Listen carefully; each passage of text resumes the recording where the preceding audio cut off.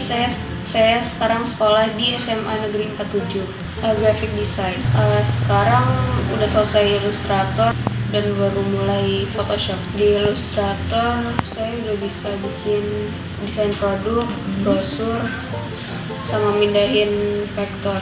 Kesannya waktunya fleksibel banget dan strukturnya baik. Uh, terus ruangannya juga kondusif. Iya recommended.